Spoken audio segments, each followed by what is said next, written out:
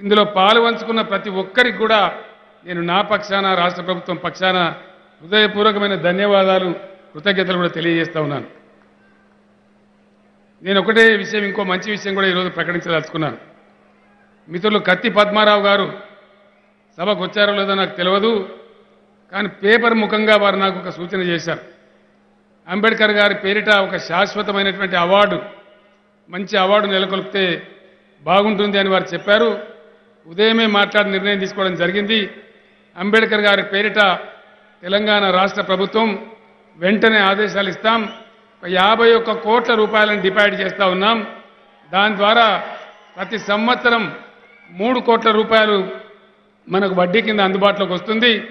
దాంతో దేశంలో ఉన్న వాళ్ళకు మన రాష్ట్రంలో ఉన్న వాళ్ళకు కూడా అంబేద్కర్ గారి పేరిట ప్రతి అంబేద్కర్ జయంతి రోజు మంచి ఉత్తమ సేవలు అందించిన వాళ్ళకు అవార్డు కూడా ఇవ్వడం జరుగుతుందని ఈ జయంతి శుభ సందర్భంలో నేను మీ అందరికీ తెలియజేస్తా ఉన్నాను.